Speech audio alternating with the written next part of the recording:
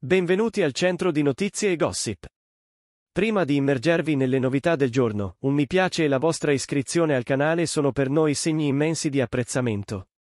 Grazie di cuore.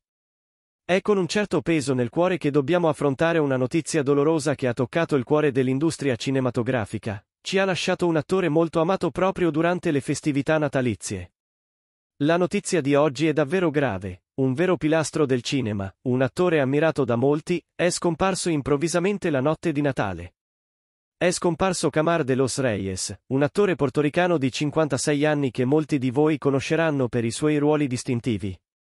Ha brillato in film come The Cell e Nixon, e il suo talento ha splenduto in modo particolare nella serie TV e One Life to Live e come il temibile Raul Menendez in A Call of Duty.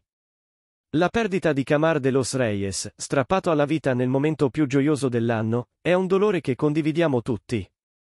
Oggi vogliamo onorare la memoria di un artista straordinario, la cui assenza lascia un vuoto immenso.